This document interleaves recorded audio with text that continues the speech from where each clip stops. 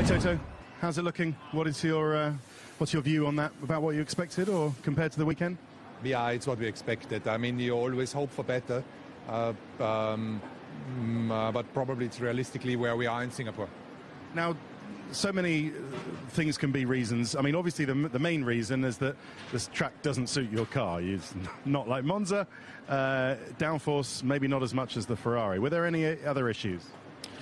No, I think it's uh, it's like you say. Um, there seems to be a certain um, pattern during the season that some cars go better on the small twisty stuff, and that is Ferrari and Red Bull. And we have been uh, particularly uh, competitive on uh, lots of high speed, high speed corners. And uh, yeah, this is just another example.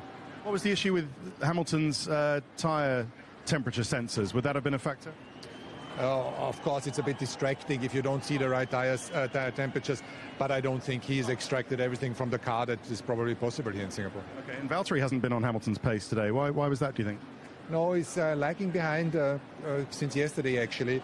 Uh, overall, a not great, week, great weekend for us so far. Okay, well, you never know. It's the race tomorrow. Anything can happen. yeah, tomorrow is what counts.